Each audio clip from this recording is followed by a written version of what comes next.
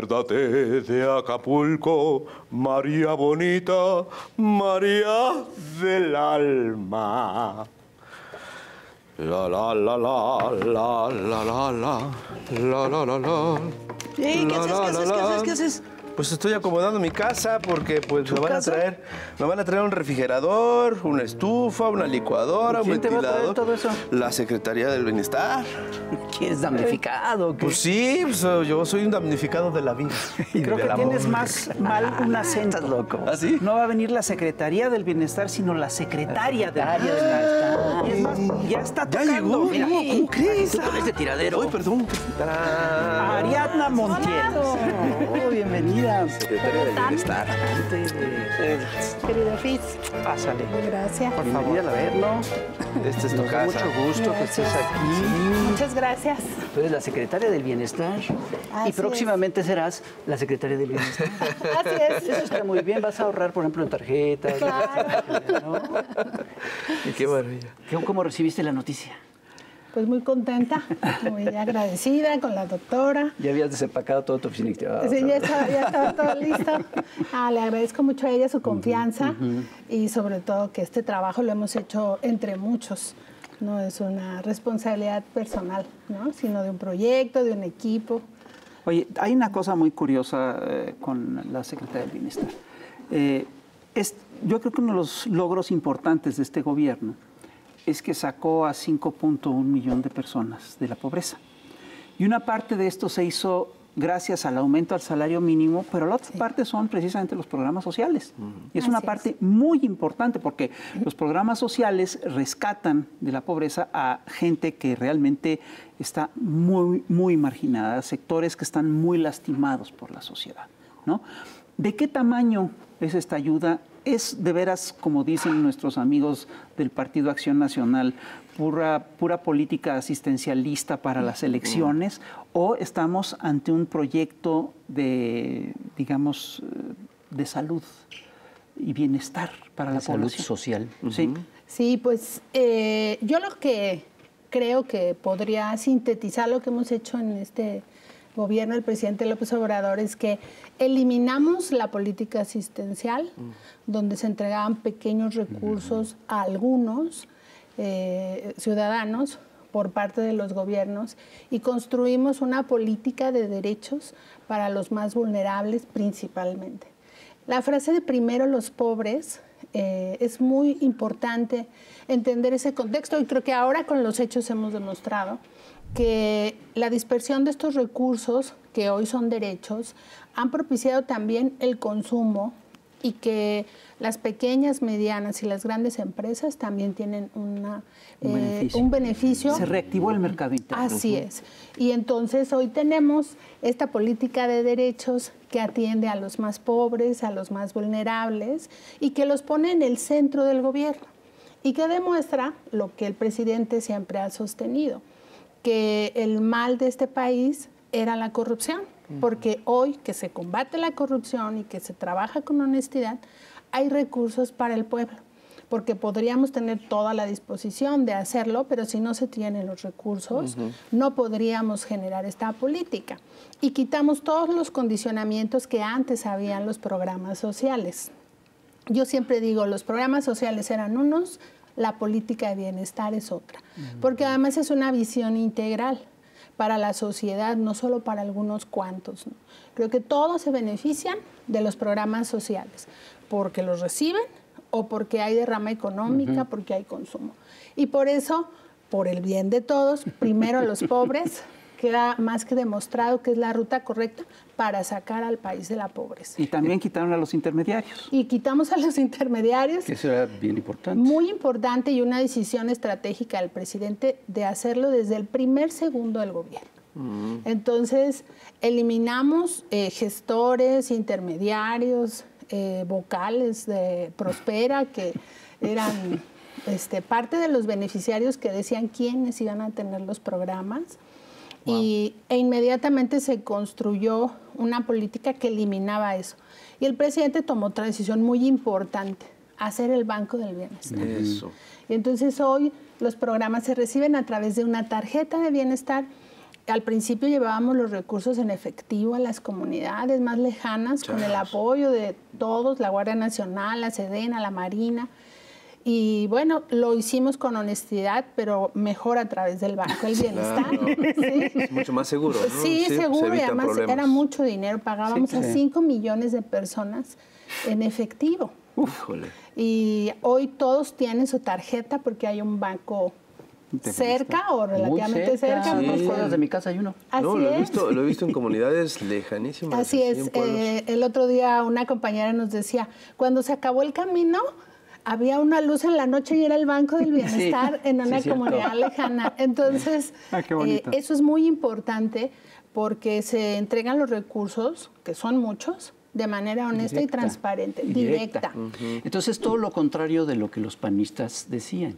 O sea, no es as- asistencialismo, es todo lo contrario. Y además los panistas que hipócritamente toda la vida criticaron los programas sociales, durante la campaña se colgaron de ellos y dijeron que sí, que lo máximo, y ahora otra vez los están criticando. Pero estos panistas que también utilizaron los programas sociales de manera clientelar y Eso electoral en los es. procesos electorales del 2006, del 2012, porque sí lo ellos sí lo hicieron. ¿Cuál es la diferencia ahora? ¿Por qué ustedes mm, Porque es un no derecho. lo hicieron? Porque Mira, es un derecho. los programas sociales han existido en todos los gobiernos, del PRI, del PAN. Eh, ahora con nosotros los programas de bienestar tienen otras características. Primero tienden a ser universales. Atendemos a todos los adultos mayores y con ello quitamos la disposición de quién sí y quién no. Antes todos eran así. Y a propósito del 2006, em, a punto de empezar la campaña del 2006, el presidente Fox eh, dio a conocer que habría una pensión de adultos mayores, retomando lo que el presidente López Obrador, como jefe de gobierno, había hecho en la ciudad. Que le había criticado mucho él, dijo que Así no es. se podía. Así es. Y había tachado a la gente de flojos y demás. Entonces, cuando Felipe Calderón llega a su gobierno, eh, lo primero que hace es implementar el programa que el presidente había establecido en la ciudad, buscando esa legitimidad. Pero durante todo ese sexenio, la pensión no aumentó.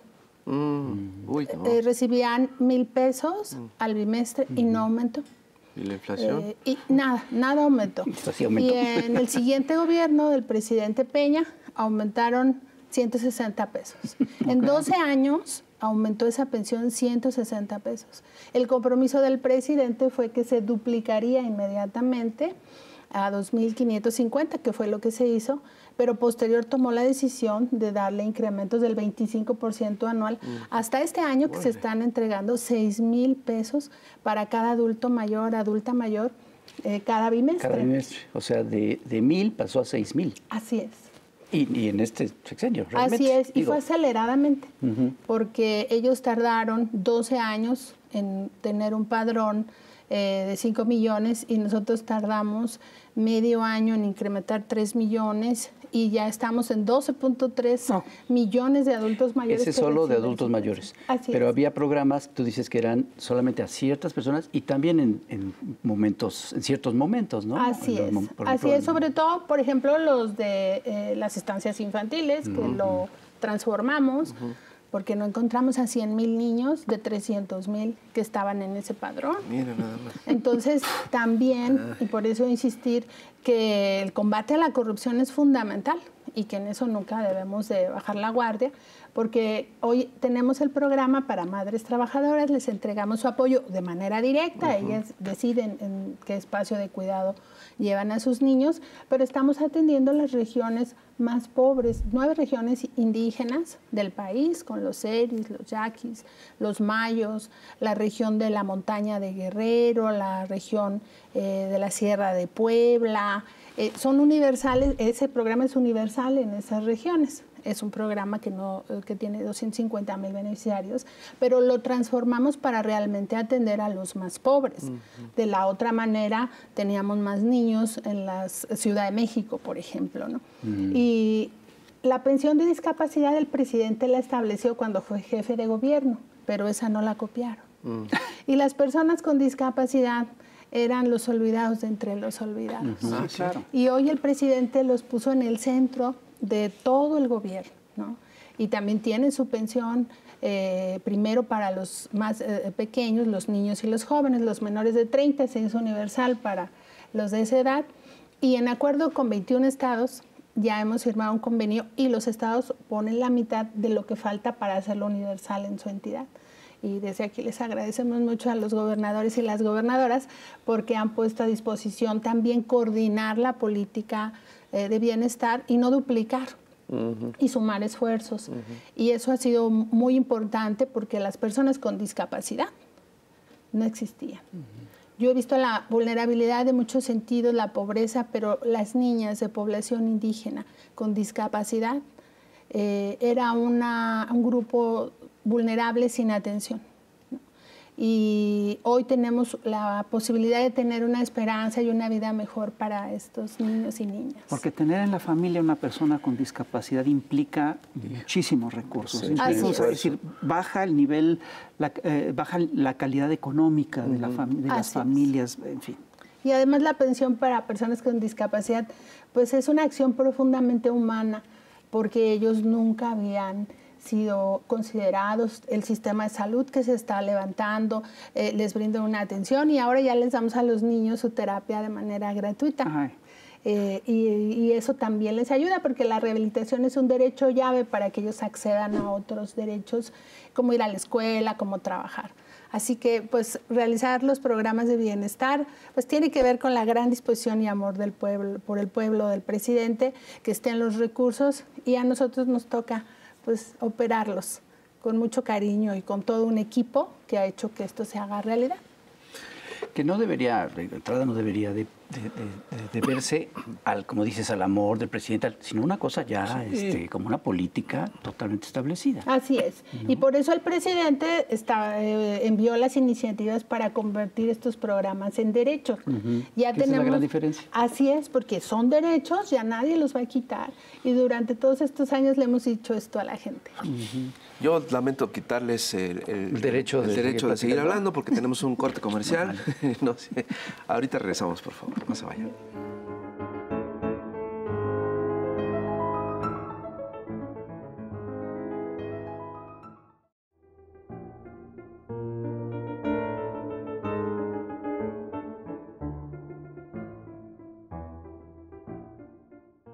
Seguimos en Chamoco TV, estamos platicando con Ariadna Montiel, secretaria de Bienestar. Eh, hace un momento comentaba sobre, sobre las estancias, sobre el apoyo a madres solteras. Yo recuerdo que durante toda la campaña y desde antes, más bien a lo largo de todo el sexenio, la oposición de derecha se la pasó diciendo que este gobierno quitó eso, que eso ya no existía, que cómo era posible, que no es cierto, no lo quitaron. No, lo transformamos. mintieron. Lo que quitamos fue los negocios familiares que existían en ese programa. Y la derecha tiene algo, siempre invoca a la niñez como parte de sus discursos. Y creo que así como se invocó eh, durante el proceso el tema de los programas de bienestar, eh, debería eso regularse, porque me parece que el debate político debe ser en la construcción de lo positivo, y lo que nosotros hicimos fue llegar a revisar lo que existía y que funcionaba y lo que no. Casi nada funcionaba. Pero. funcionaba ellos. Pequeño problema. Pequeño problema. Eran negocios particulares que además siguen existiendo, ¿no? Y que inclusive hay madres que recibiendo su apoyo deciden ir a esos lugares de cuidado. Está bien, pero también empoderamos a las mujeres que ellas decidan dónde va a ser el espacio de cuidado, el modelo de cuidado de sus hijos y estamos atendiendo a los niños más pobres del país. Y creo que hemos cumplido en, este, en esta fórmula de entregar de manera directa los apoyos, reconocer el trabajo de las madres, porque antes era solo el trabajo, digamos, formal. Y la mujer campesina, la que siembra, la que esté en su casa, que ya es reconocido el trabajo doméstico como un trabajo, no remunerado, pero un trabajo. Entonces reivindicamos ese derecho. Hay una cosa que me llama la atención. Este, últimamente se ha planteado, este, pues, estamos ante un paquete de reformas que son muy importantes y una de esas reformas plantea la pensión para mujeres entre los 60 y los 64 años de edad. Y esto tiene que ver con esto que tú estás planteando, porque las mujeres generalmente son las que se encargan de los cuidados en la familia. A ver, ¿qué sentido tiene esta reforma? Así es, pues la, la presidenta electa, la doctora Claudia Sheinbaum, ha planteado eh, desde su proceso, sus propuestas, que hay este reconocimiento a las mujeres de 60 a 64 años con una, un programa que adelanta el apoyo a la pensión de adulto mayor. Y esto es muy importante. Las mujeres siempre eh, en México somos quienes hemos brindado el cuidado desde niños, cuando son jóvenes, adolescentes y cuando las mujeres son mayores, no tienen, la mayoría no trabajaron en una actividad formal que les permita tener una, pensión, una jubilación. Y esta pensión, este programa, eh, reconoce ese trabajo de las mujeres, no solo por su edad en este momento, sino lo que han hecho a lo largo de su vida. Como ha sido para los adultos mayores, que la mayoría no tenía seguridad social y esta prestación de tener eh, pensión o jubilación, y con estos programas, y especialmente hoy a las mujeres, y como todas nos sentimos muy orgullosas de que la doctora Claudia sea la primer mujer presidenta y lo que ella afirma de que con ella llegamos todos, todas eh, nos sentimos muy orgullosas y pues imagínense que podamos implementar esta pensión entre todas las mujeres, con los hombres también, pero es una reivindicación histórica a las mujeres que están, que ya no están, y también a las que han sido luchadoras sociales buscando eh, el fortalecimiento de los derechos de las mujeres. Así que pues pronto estaremos ya operando este gran sueño también. Oiga, secretaria, hubo, un problemón en este país y en particular en Guerrero, en Acapulco, una tragedia. Que bueno, pues eh, fue, fue un, suceso traumático para toda esa población, pero ahí entró de lleno la Secretaría del Bienestar. Este, y hubo una cantidad de comunicadores. Este, sí, una campaña terrible. Específicamente fue muy notable López Dóriga, pero dinos por favor, ¿Qué fue lo que pasó? ¿Qué hicieron? ¿Qué hicieron? Después de todo lo que dicen que, no, hicieron, ¿qué es lo que sí hicieron? Porque lo que sabemos claro es que sí lo hicieron. Sí, bueno, Te fuiste pues... a vivir a Acapulco dentro. De hecho. sí, es, no había manera de hacerlo distinto. Eh, este modelo lo fuimos implementando a lo largo de la administración con el presidente que bueno, siempre tiene una idea maravillosa por implementar. Entonces, él decidió siempre que hiciéramos un censo para las familias afectadas por un fenómeno natural. En esta administración hemos atendido 15, no de la magnitud de Acapulco, pero han sido 15 que se han atendido de esta manera. Entonces, inmediatamente sucede el fenómeno, vamos, eh, nos trasladamos al lugar de los hechos y en este caso Acapulco. Nos fuimos 4.000 compañeros de la Secretaría de Bienestar, las y los servidores de la Nación, pues mochila en mano, este, alimentos pues empaquetados para poder llegar. Establecimos nuestro campamento y todos los días salíamos a hacer este censo que el presidente nos pidió casa por casa para registrar todos los daños en viviendas y locales y la afectación a la actividad económica. Entonces censamos a 300 mil familias, 300 eh, mil viviendas eh, y pues fueron días intensos porque no había agua, porque no había alimento, porque la gente estaba sufriendo. Y bueno, hemos en este año, en estos seis años hemos aprendido muchas cosas, pero entre ellos, pues estar cerca de la gente. Y pues en Acapulco nos veían ir y venir con nuestro uniforme, nuestros vehículos de bienestar. Y eso también eh, le da tranquilidad a la gente que sabe que estamos ahí, que el gobierno está con ellos. Y el presidente decidió en esta misma política aplicar los programas de bienestar, de entregar los recursos de manera directa a los eh, afectados en este caso. Se les entregaron de 45 mil a 120 mil pesos a cada familia para que restituyeran su bienestar de su vivienda. Eh, fue un fenómeno que pues trajo agua, pero trajo mucho viento y por eso fue tan destructivo. Y los primeros días, pues yo veía y decía, lo tenemos que levantar entre todos y es como el presidente lo afirma y, yo estoy convencida de ello. Eh, es con el pueblo, con la mano del pueblo. El gobierno no lo hubiera podido hacer como hoy está Acapulco. Las casas ya están este, funcionando. funcionando. La actividad económica, la actividad hotelera, ahí va. Eh, hay algunas cosas un poco más complejas, pero nosotros nos ocupamos de la gente.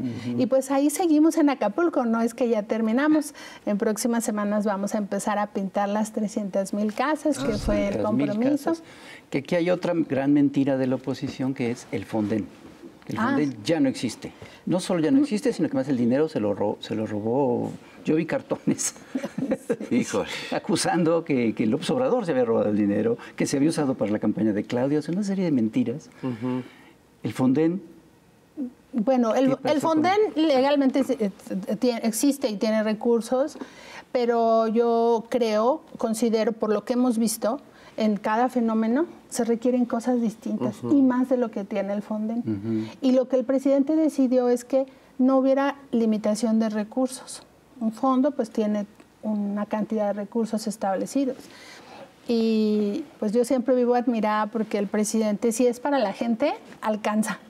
Es como las mamás, ¿no? que con lo que fuera alcanzaba para todos.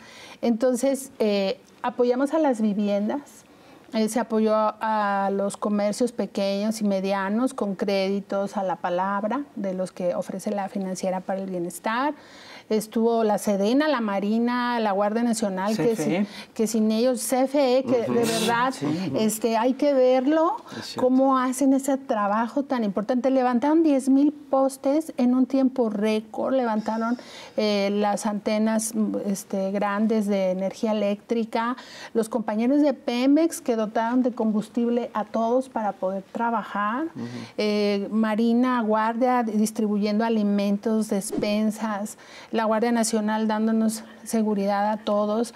Y es un trabajo de muchas dependencias. Un fenómeno de esta naturaleza lo tiene que atender todo el gobierno.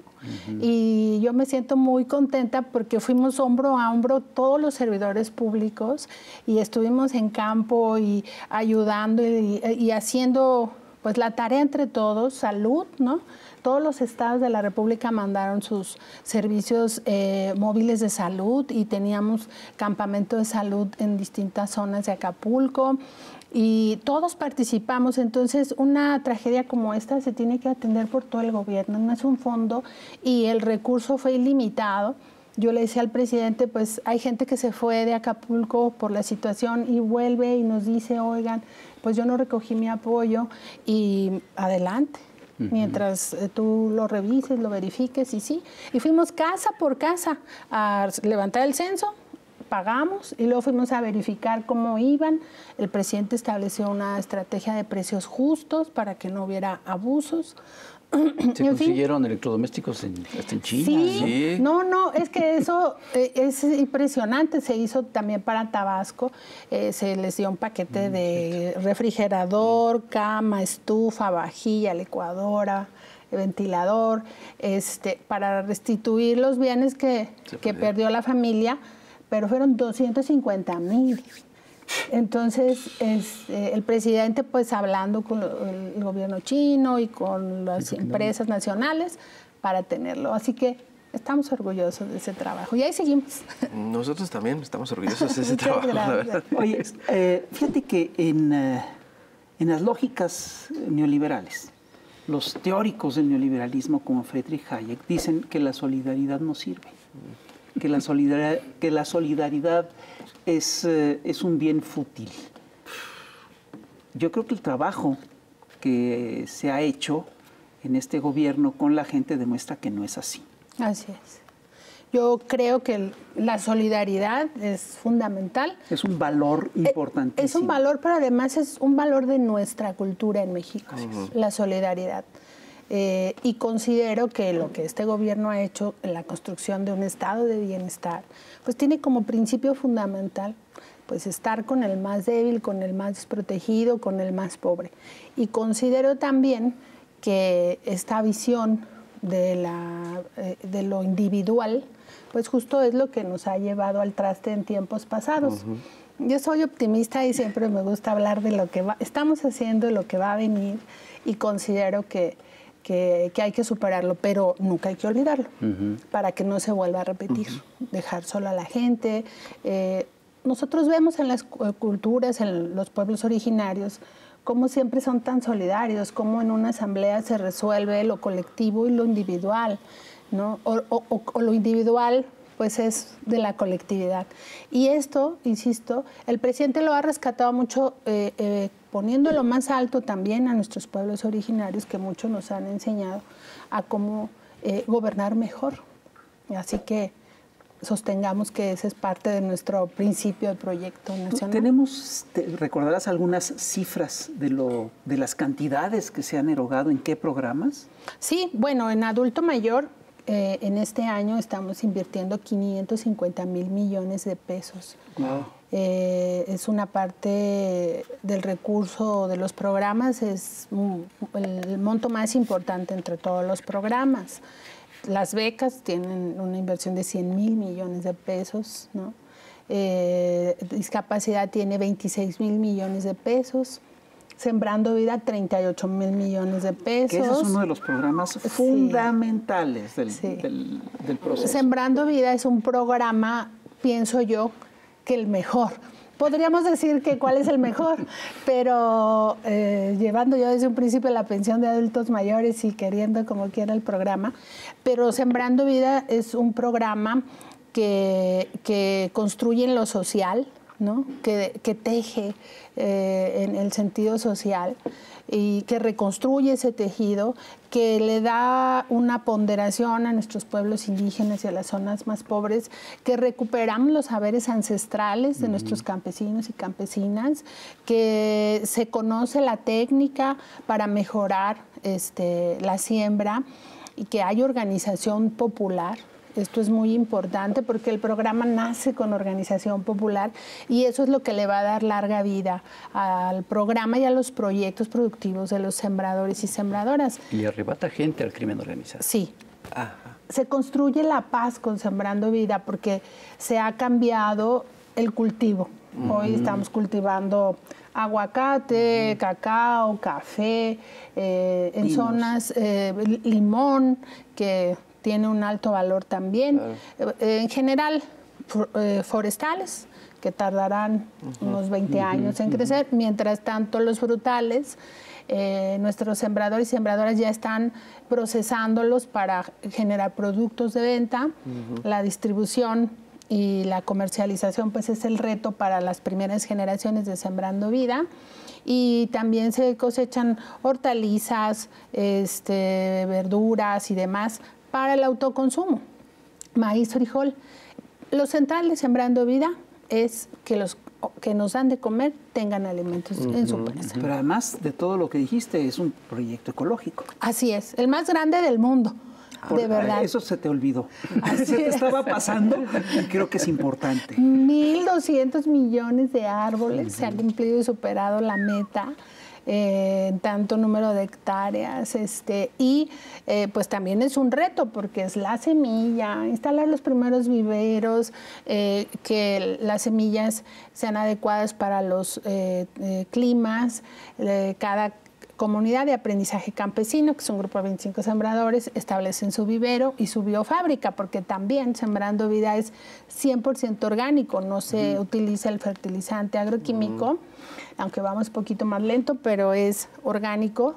Y todo lo hacen los sembradores y lo han aprendido a hacer y nosotros hemos aprendido de, ellos.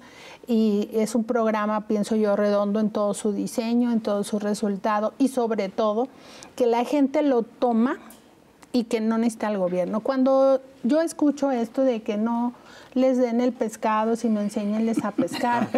Yo siempre les digo, pero es que se robaron el pescado.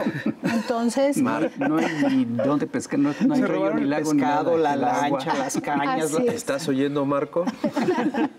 Entonces, ¿qué, ¿qué pasa con Sembrando Vida? Pues ellos están aprendiendo a organizarse, a distribuir, eh, a, procesar eh, y van a seguir trabajando más allá de, lo que el programa les da, ¿no? Entonces, pero garantizarles el jornal es el impulso, lo que se requería. Y, ya lo dijo la doctora Claudia.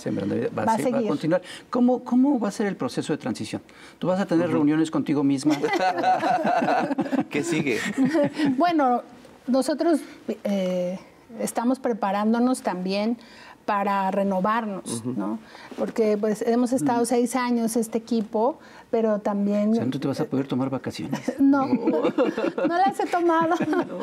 Este, y no las voy a poder tomar, pero yo estoy muy contenta de poder Pero te fuiste a Acapulco, no sé Claro, porque me fui a Acapulco cuatro meses, sí, y allá voy a seguir también. Considéralo como... Así es, no, yo pienso que siempre hay que buscar una manera de renovarnos, de, de, no buscar, no acomodarnos, dice el presidente, y sobre todo... ¿Cuáles van a ser las diferencias? Con, pues, bueno, primero vienen los programas que la doctora ha planteado, como el de las mujeres, por un lado, y por otro lado, eh, vamos a mejorar la operación de lo que ya tenemos y ella también está pensando en fortalecer los que ya existen con acciones eh, complementarias. Y bueno, yo lo que he visto en estos seis años, entramos con una idea y uh, dice el presidente el otro día, cumplirse de los 100 puntos, creo que dos andan ahí pendientes eh, de, concluirse pero hice otras 100 cosas más, efectivamente, ¿no? entonces, seguramente en el camino van a haber más proyectos en los que podamos coadyuvar. Cuando vino la pandemia, estuvimos ahí organizando la vacunación junto con salud, apoyando. Hemos estado en muchas más tareas. Eh, cuando iniciamos el gobierno no pensé que nos tocara atender eh, emergencias de carácter natural, pero también pues el equipo que, está de compañeros en territorio, servidoras y servidores de la nación, son compañeros con convicción, que son, eh, tienen la visión del proyecto. Porque tú te imaginas que en el régimen pasado un servidor público se quisiera ir a Acapulco a estar durmiendo en una casa de campaña cuatro meses fuera de su casa. pues, no. Pues no. ¿verdad? Creo que Gurría no lo hizo. no creo. Entonces, eh, pues es toda una un, equipo que trabaja y que pues debemos renovarnos siempre nuestro ánimo. Yo pues insisto, estoy muy contenta de poder continuar y poner a disposición lo que hemos aprendido en este tiempo y pues seguir seguir trabajando. Eso no lo ha enseñado tanto el presidente. Levantarse temprano y acostarse muy noche para rendirle a la nación. Tenemos esta oportunidad, pues hay que, hay que trabajar por México. Felices. Una pregunta personal. ¿Tú de dónde vienes? ¿Cómo, cómo entraste al servicio público? ¿Cuál, ¿Cuál, es tu historia? Bueno, pues yo fui dirigente estudiantil eh, cuando el rector eh, Francisco Barnes quiso... ¿En el 2000? Eh, en el 2000, en el, en el movimiento del 99-2000 del Consejo General de Huelga, yo estaba estudiando la Facultad de Arquitectura, en el autogobierno, y eh, bueno, pues... ¿Ahí estuvo el fiscal? Sí, participamos en el movimiento estudiantil, yo pues siempre estoy agradecida con mis maestros de arquitectura porque siempre nos dio información política, ¿no? Eh, y eh, participamos y luchamos y eh, tú sabes que el primer operativo de la Policía Federal, como Policía Federal, fue desalojar la Universidad Nacional. Entonces, bueno, pues nos desalojaron, detenidos. ser compañera de gabinete del que era el rector en ese momento. sí, el doctor de la Fuente, sí. El, el gobierno de Ernesto Cedillo eh, estableció una estrategia, ya el movimiento teníamos muchos meses eh, con la universidad tomada y establecieron pues, hacer una consulta democrática eh, para liberar las escuelas. evidentemente ganaron la consulta y nosotros no soltábamos las escuelas. Entonces se hicieron asambleas en las escuelas, pero cuando vinieron los estudiantes y nosotros en conjunto con los que impulsaba la rectoría, y el movimiento, pues ganamos en todas las asambleas para continuar en huelga, con toda la presencia de los estudiantes de la derecha. Y eso para mí fue una experiencia muy importante, creo que la más importante del movimiento universitario, porque pues éramos entre iguales, nuestros sueños, no había cargos, no había nada, ¿no? y pues queríamos estudiar, era lo que pretendíamos. Y bueno, a partir de ahí yo conocí al presidente en ese contexto.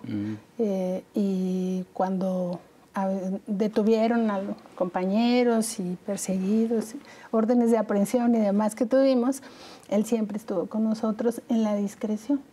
Espero no cometer una indiscreción, pero eh, en algunos momentos pues sí había presión de liberar las escuelas y él en algún momento me dijo, y, pero si ustedes creen que es lo correcto, adelante. Y yo siempre sentí que estábamos haciendo lo correcto y ahí Después participé ya en, el PRD este, y fui dirigente de los jóvenes, ¿no? Fui diputada local y federal. Y cuando el presidente decidió hacer Morena, este, constituir Morena, pues ahí estuvimos desde el 2010 cuando se constituyó la AC. Y bueno, pues hemos estado en muchos lugares del país promoviendo al movimiento en su momento, que el presidente nos decía, vayan a ayudar acá, vayan a ayudar allá. Y yo tuve una experiencia antes del gobierno que para mí ha sido transformadora, en lo personal y en lo político. Me mandó a vivir a la Sierra Tarahumara, a ayudar a promover el movimiento allá. Me decía que era el lugar más difícil para él en el país. Y bueno, pues cuando yo llegué este, allá a vivir, pues sí, me di cuenta que era muy complicado. ¿No? Y allá viví casi dos años en la Tarahumara. Sí, pues una experiencia. Sí, una experiencia para mí este, muy importante. Dura porque además, eh, pues yo no conocía, este, Parral se veía bastante este, urbano, pero ya cuando me adentré a la sierra, ¿no? Y realizamos todos los comités de la Sierra Tarahumara, este, son 29 municipios.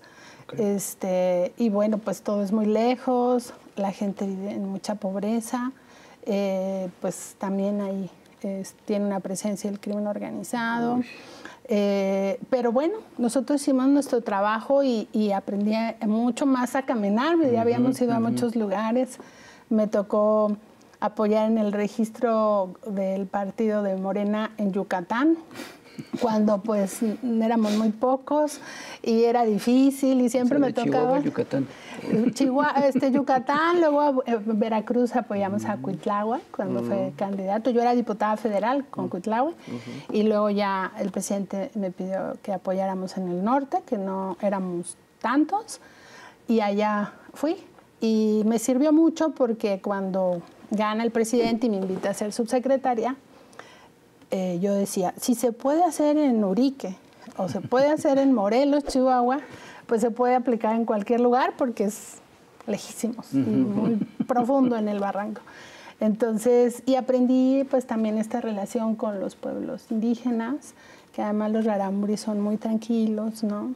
Ellos viven con mucha paz y también eso pues a mí me ayudó mucho, ¿no? Entonces, eh, pues venimos de ahí, venimos de abajo. Yo nací en Iztapalapa, viví hasta los 22 años y me fui a vivir a Coyoacán y luego hice mi actividad política en Coyoacán porque me fui a vivir cerca de la universidad, mm. porque me quedaba muy lejos.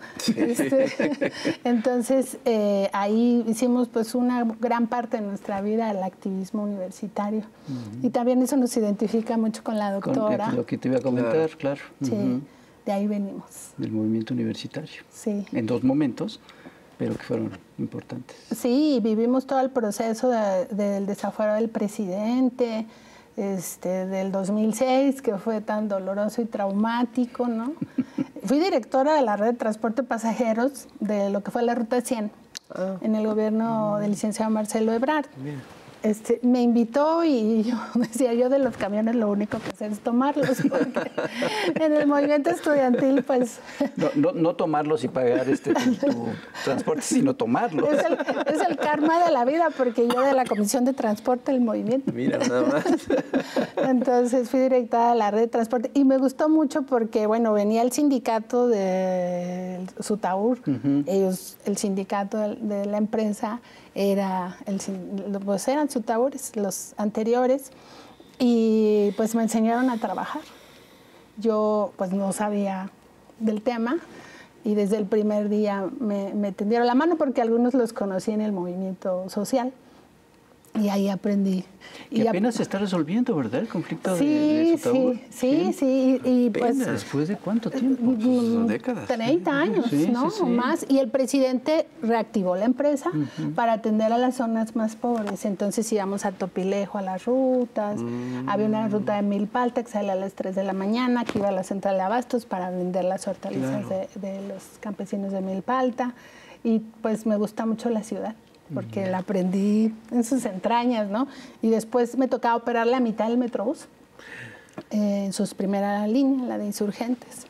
Aprendí muchas cosas y a mí me gusta la operación. Si algo le sabes. Pues ya pasé por varias. Hay una cosa que es curiosa, es decir, uno, una de las cosas que ocurrieron durante los gobiernos de, de la Madrid, Salinas, Cedillo, Fox y Calderón y Peña es que se sacrificó el estado de bienestar. Así es.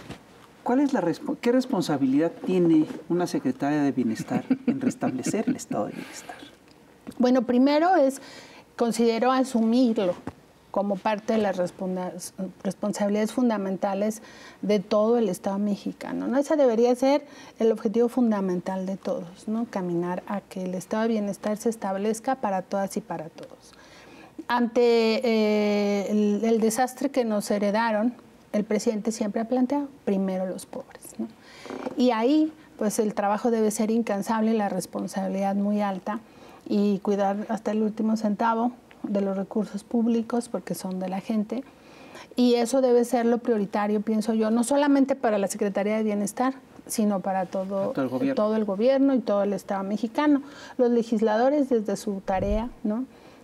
Apoyan la, la aprobación no del presupuesto y en estos seis años pues, estamos agradecidos con ellos, los legisladores que han pasado en el Congreso, porque han apoyado el presupuesto 100%, uh -huh. porque han apoyado las reformas del presidente que le da este piso eh, de, de, que permite combatir las brechas de desigualdad, de conformar estos derechos para la gente en general, pero principalmente al más pobre, al más, eh, eh, el que ha estado atrás. Entonces, pues esa es la responsabilidad mayor, ¿no? Y la tomamos con esa, con, con, con esa dimensión. ¿no? Porque en todas las secretarías, bueno, en todo el gobierno debe de haber gente honesta, pero en esta secretaría en especial que maneja tantos recursos, sí, sí es fundamental Así es. una persona honesta a la cabeza. ¿no? Y con sentido social. Sí, social, claro, pues si, es el, si no tiene sentido social. es el sentido de, la, de esta secretaría. Si no es. entiendes cuál es la razón de ser de un estado de bienestar, no puedes estar ahí. Así es. Y el estado de bienestar es la construcción de un conjunto de políticas, programas, acciones, estrategias que le permitan a la gente vivir mejor. Uh -huh. Y que parece esto sencillo, que parece una retórica, pero es extremadamente profundo y es lo que le da vida a nuestro proyecto nacional. ¿no? Y como bien apuntas, se tiene que trabajar con honestidad, eh, en congruencia a lo que nosotros estamos haciendo.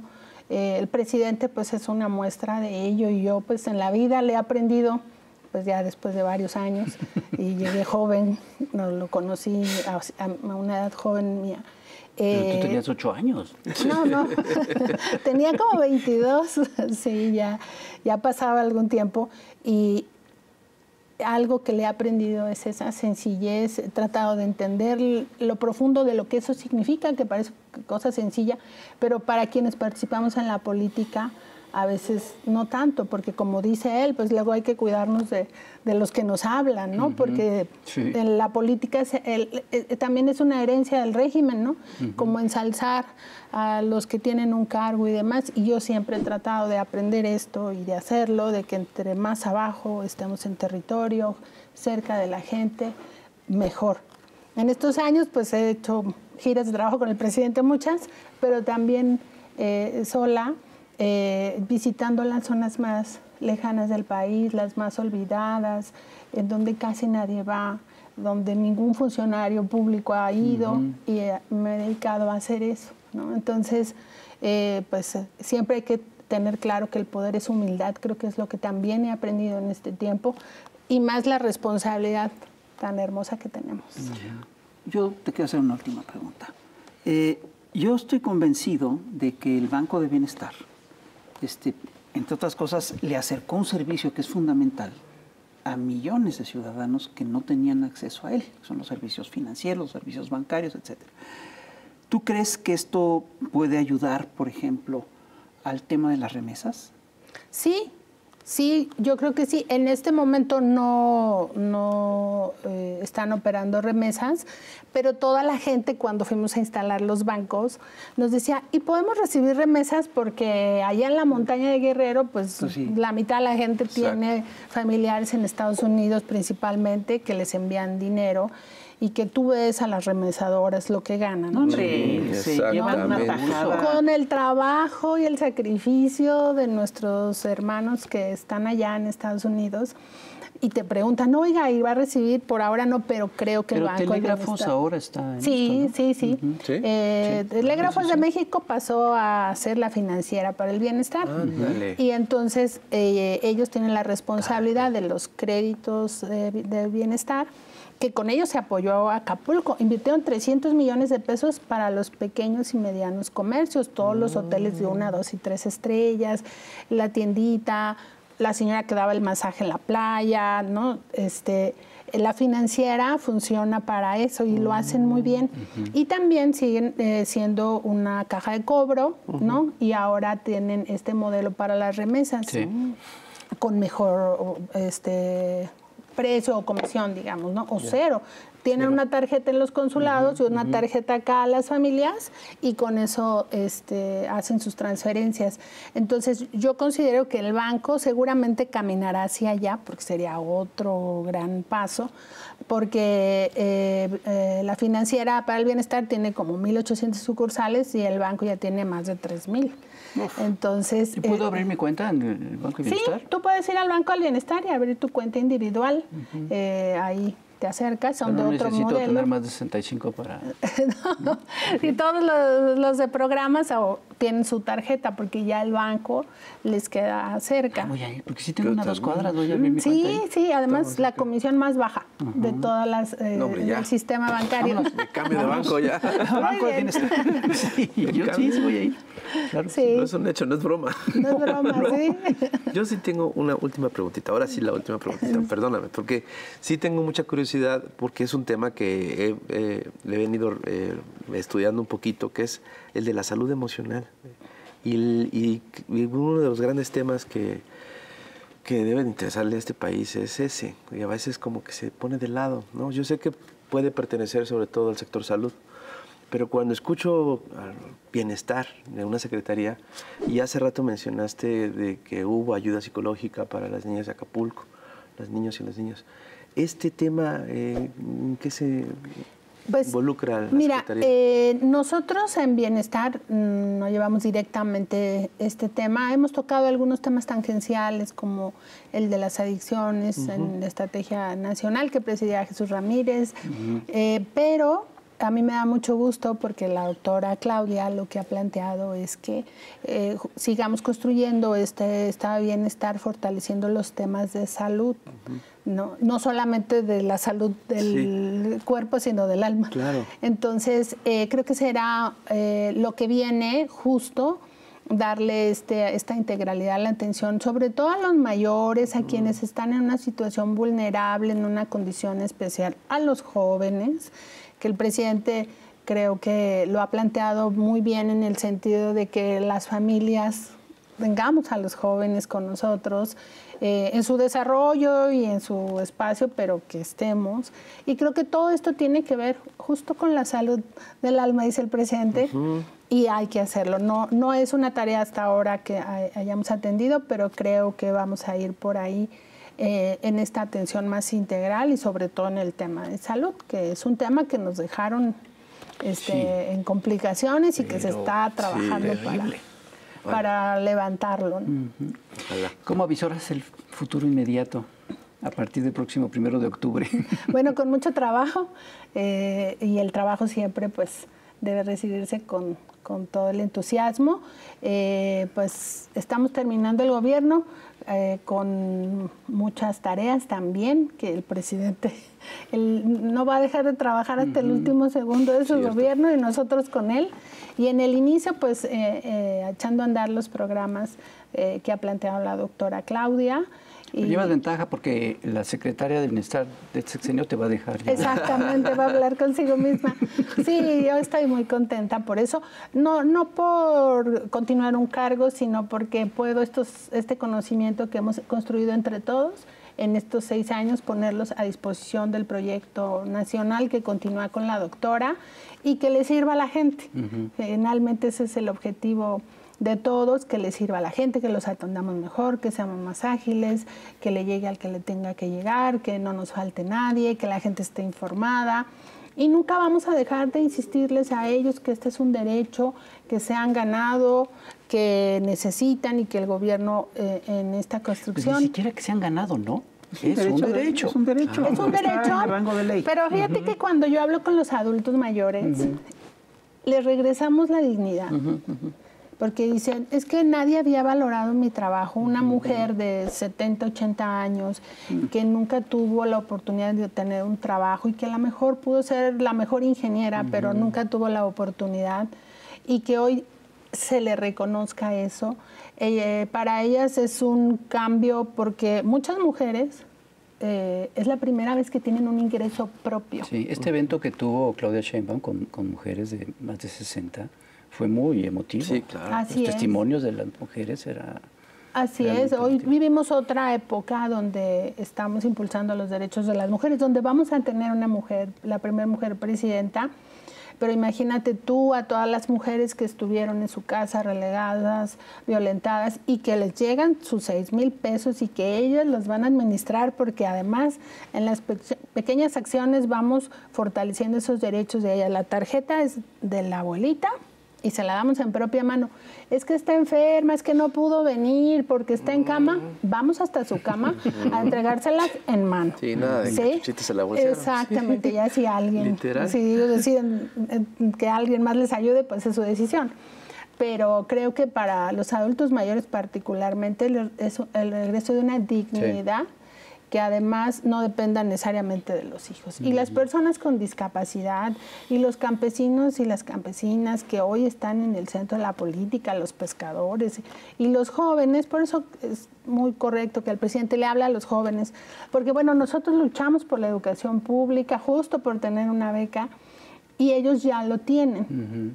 Y tenemos que decirles lo que ha costado, que esto ha sido la construcción y la conquista de estos derechos y que bueno que ellos ya van a vivir en un México de derechos.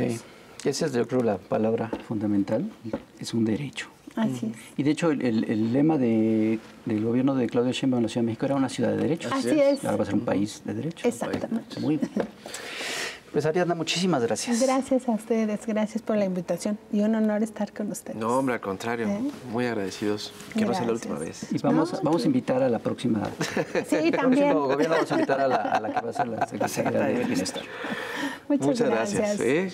Muchas gracias a ustedes también, señores y señoras, señoras y señores, por ver este programa, por compartirlo, por comentarlo, por coleccionarlo y porque se va a cuidar mucho el- nuestro plan C.